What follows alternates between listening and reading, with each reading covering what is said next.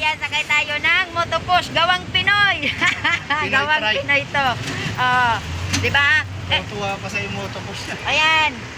Yan ang gawang Pinoy. Sobrang galing. Makikita nyo dyan mamaya, iaano ko yung nasa likod ako. Sobrang dami kasi ng mulye nito. Kasi pangkargahan to.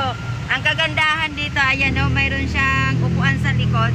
Pwede rin sa tao. So, ayan, napakaganda. Ikot ko kayo. Ang kagandahan dito, pwede to sa National Road. Kunwari, umuwi ako ng Pampanga. Pag bumili ako ng ganito, pwede ko siyang gamitin doon. Oh, Pwede rin ibang pasada. pwedeng pampasada, pwedeng kung magne-negosyo ka ng bigasan, mineral water, 'di ba? Pwede. Pangkargahan to, pangkargahan. Ah, mga gawang Pilipinong ganito, pinagmamalaki yan. Ah. Ayan. Ayan o, para siyang sasakyan talaga. Tapos, pwede mo pa siyang lagyan ng electric pan. Ito, dalawang electric pan dito. May sound system. Ito, pre, ikaw na nag-setup nito. Kasama na. Na. Oh, kasama na to. Ayan. Ah, pakilala ko sa inyo, kumpare ko, paring Raol. Ano yan? Ah, ilang taon tayo magsuki na papabalik-balik sa palengke? Tagal na. Yan. Yan. Sampung taon eh. Itong mga tindahan dito sa May Tap Avenue, pre, mga suki mo rin to sa tricycle, no? Anong mas maganda pare ko? Itong itong motopush na to o yung tricycle?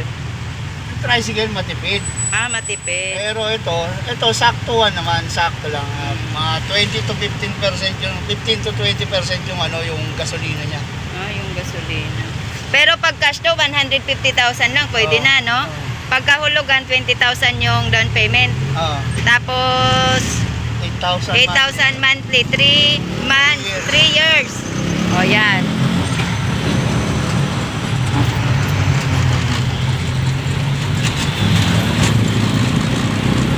Ito, Remedios to, remedios. Ayan, nasa Remedios na tayo. May franchise ba to pare? Wala. Wala re, wala. Ikot-ikot lang. Ay, pasay na yan siya dyan. Hindi lang manghuli dyan. Mm. Ito dito, Manila, Harrison Street.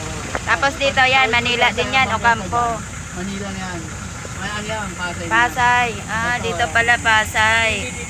Ah, mabini sir. Ah, Kaliwa kayo. Pasay. Ito, Harrison Street, Mabini. Ocampo, Manila, Pasay. Ta? Oo. Ito, Ermita ng buo na to. Baka maligaw pa sila.